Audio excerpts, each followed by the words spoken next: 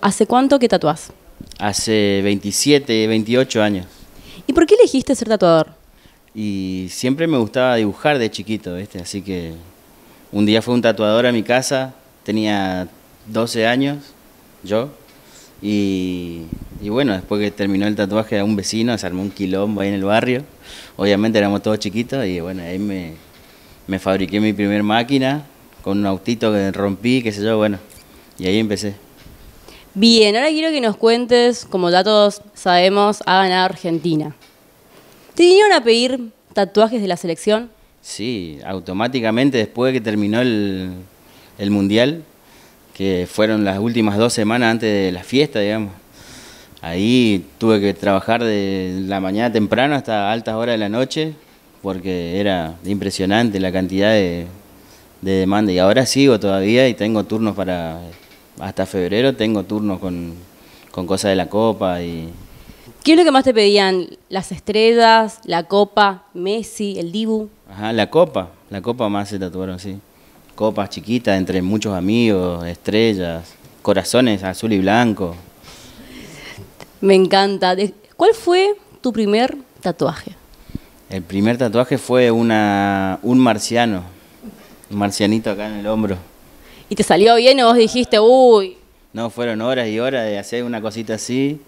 Y bueno, después mi amigo que se había tatuado, imagínate cómo quedó. ¿Y la zona de más complicada que te pidieron que le hagas un tatuaje? ¿Y por dónde se te ocurra? ¿Dónde se me ocurra? y ahí cuando vienen a pedirte eso, ¿aceptás o decís, no, prefiero en zonas más comunes o aceptás? Y todo tiene un precio. Así que... El, tatuador... Si se puede, se puede, si, si no... No. Claro. ¿El tatuador se tatúa solo? También. ¿Cuál fue el tatuaje que te hiciste? Me hice uno acá en la pierna. Sí. Esto cuando, cuando estaba más flaco. este. También me tatué solo. Bien. Eh, ¿De cuántas horas fue lo máximo que estuviste tatuando? Y también cuando recién empezaba estuve creo que 12, 15 horas por ahí. Después te duele todo. Después estaba, sí, y el que se tatuaba estaba re borracho, súper borracho, estaba tomando vino y qué sé yo, bueno. ¿Te ha pasado que ha venido gente y se desmayó? Antes pasaba mucho, ahora no tanto. ¿Lo que es anestesia es un mito? Y hay algunas, algunas anestesias en spray, ¿viste? Yo tengo entendido que no se puede usar este inyectable y esas cosas. Está prohibido.